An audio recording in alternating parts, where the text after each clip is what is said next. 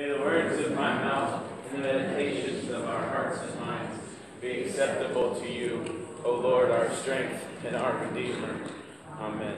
Well, what I talked about in my office, just so you can know, I asked them up here very quietly if they eat, if they had a favorite stuffed animal or a favorite blanket, and I asked them if they ever got afraid.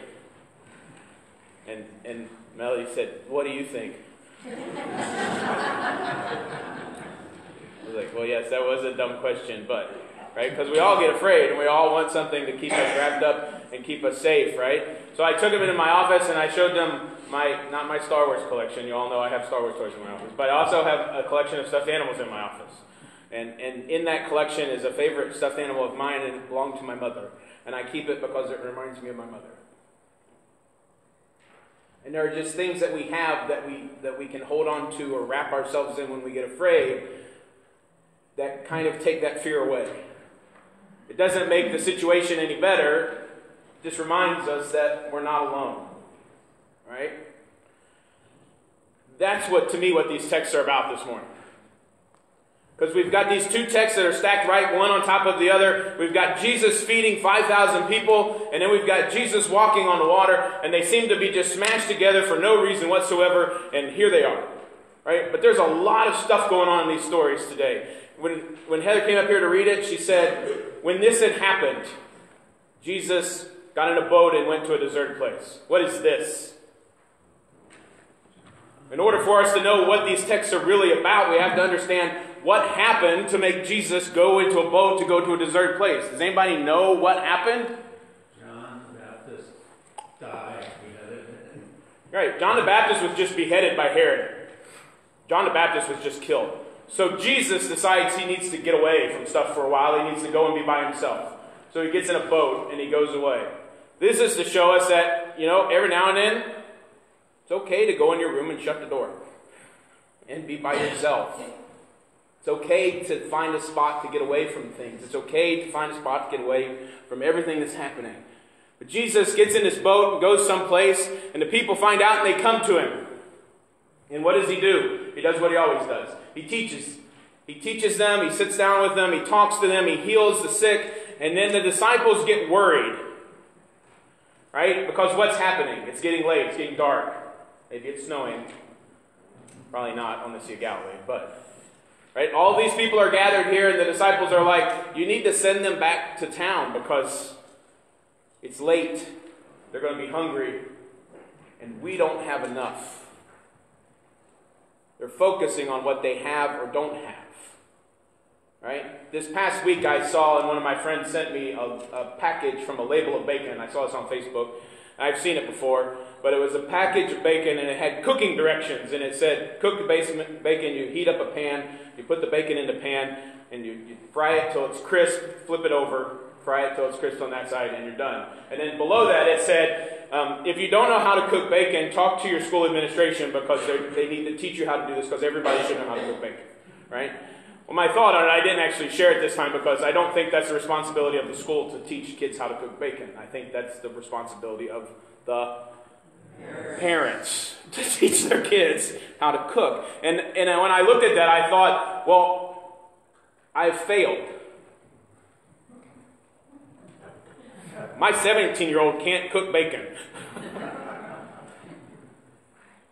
and she throws away tater tots. I can say these things about her because she's not here this morning. She's homesick. Hopefully, she's not listening. Um, but, right? She doesn't know how to fry bacon. I didn't teach her how to fry bacon. We didn't teach her how to do that. We didn't teach her how to cook. So, when we look at all of these things, and I, and I think about those things, and I think about how I, how I haven't helped my child learn the skills that she needs to learn to be able to live in a world that she's going to have to live in by herself.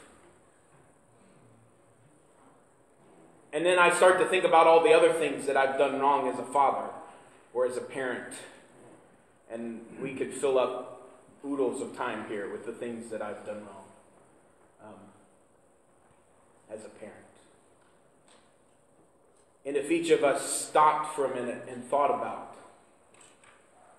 all the things that we've done wrong as a parent, we could come up and fill volumes of books with the ways that we've failed our children. This is not supposed to be sad, and you're all just like, man, he's like bringing us down. But when I thought about this text and I thought about that bacon label, I was like, these two things are, are, are connected. Because, see, if I just think about the things that I've done wrong in raising my children, then I don't remember the good things that I've done. I don't see the things that are to come. I don't focus on the things that have been that have happened right or the things that are there that could produce other things, right? When the disciples come to Jesus in the evening and they say, You got to send these people away because we don't have enough food to feed them, they were focused on what they couldn't do, not on what Jesus could do. And so they can't, Jesus said, You give them something to eat. And they're like, Well, all we've got is five loaves and two fish. And, and when you think of five loaves of bread, what do you think of? Do you think of Wonder Bread? Something like that? Like a loaf of bread you go to the, you go to the festival or Woodman's to buy, right? These are probably loaves of bread. They're probably no bigger than this. They're probably like these five loaves and two fish um, were probably enough food for one person to eat. Right? Like you, had, you could have some fish sandwiches and have some bread left over. Right? This is it. It's not enough to feed 5,000 people. 5,000 men plus women and children. So we're talking probably 10,000 people, five loaves, and two fish. We're not talking fish, right? When you go fishing, you come back and you say, I caught two fish. two fish. So maybe they had reasons to worry. But did they forget who they were with? So Jesus takes the five loaves, the two fish, he blesses them, he breaks them, he gives the disciples, and they bring, they bring back how many baskets full? Twelve. One each. And how big are these baskets? Like the baskets we use for the bulletins?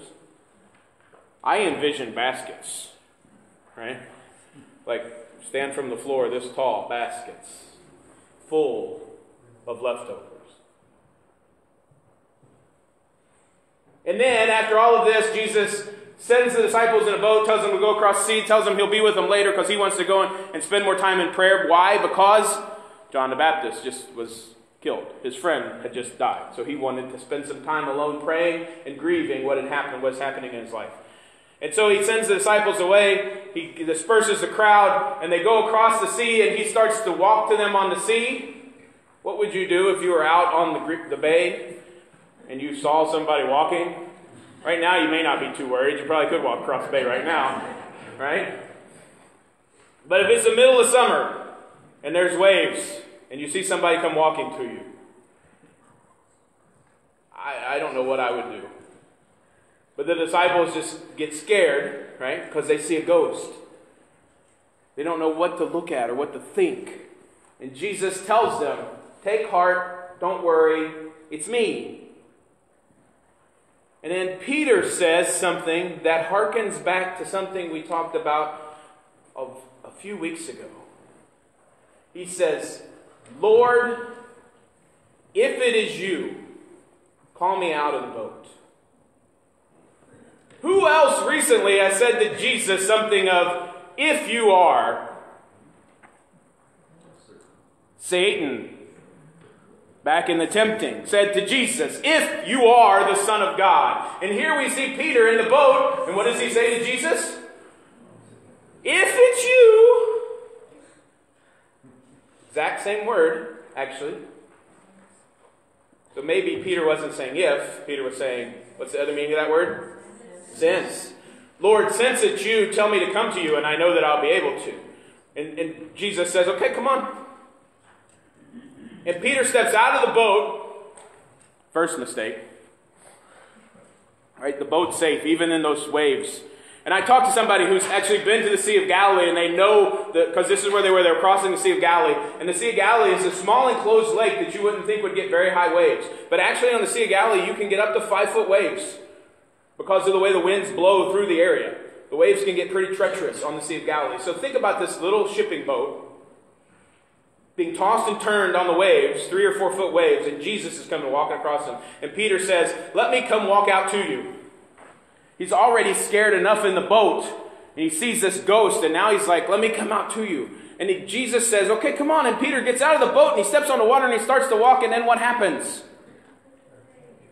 He drowns. He sinks like a rock, is what happens. And why does he sink?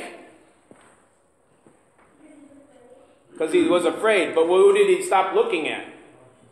Jesus. He stopped focusing on who had called him out of the boat in the first place, started focusing on what was happening around him. He started to see the waves coming at him, and he thought, I can't really walk on water. I don't know why I'm out here in the first place. Why did I ask him to make me step out of the boat? Why did I come out here in the first place? Right? But he came out and he was focused on Jesus and he was walking on the water. And then all of a sudden, when he looked at what was happening around him, when he thought about the fact that he hadn't taught his daughter how to cook bacon, he started to sink into the sea. of course, Peter wouldn't have eaten bacon because he was a good Jew, but you get the point, right? Because he took his focus off of where he needed to be looking, he started to sink. When we don't look at what we're supposed to be looking at, when we're not focused on Jesus and where He's taking us and, and giving us the strength and the faith to see our lives through, we're going to start to sink. We're going to wonder how we're going to do the things that He's calling us to do. But when we can focus on Him and know that He's giving us the strength and the, and the knowledge and the wisdom to do the things that He's called us to do, we're going to do things that we couldn't even imagine. Because that's what God does. He takes each and every one of us and works through us so that His love can be made known in all of the world. So don't doubt.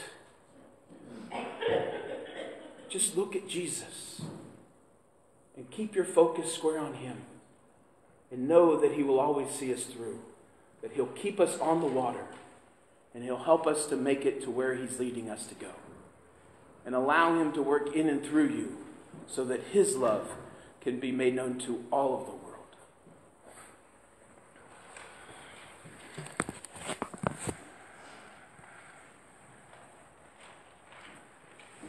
Now, Could we do the tune of five nine seven? 597, Yes.